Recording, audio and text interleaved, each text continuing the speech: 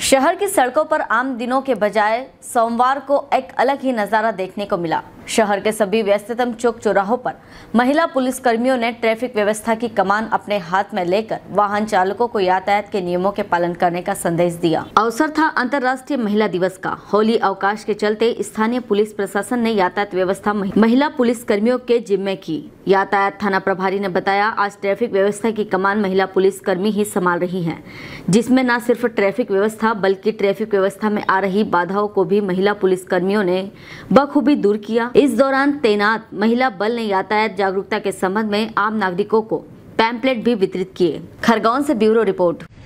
अंतर्राष्ट्रीय महिला दिवस आठ तारीख को है जब होली का त्यौहार है। इस वजह से आज अंतर्राष्ट्रीय दिवस मनाया जा रहा है। महिलाओं को और बच्चों को और जो भी पब्लिक है उसको यातायात के नियमों के बारे में बताया जा रहा है। तो इसमें कौन कौन लोग शामिल हैं? महिला आरक्षक और महिला आरक्षक है महिला प्रधान आरक्षक है लीला मैडम और महिला आरक्षक स्वाति। क्या नाम है आपका? ऐसा ही पूजा मौर्य थाना कोतवाली।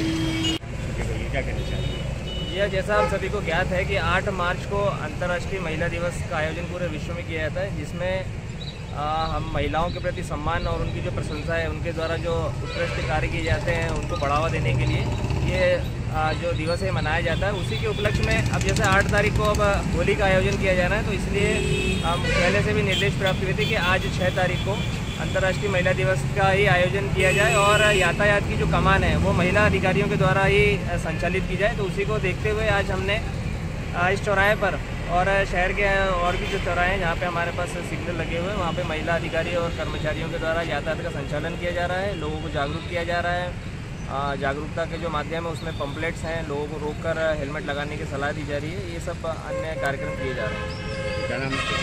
थाना व्यवहारी यातायात सुविधा दीपेन स्वर्णकर।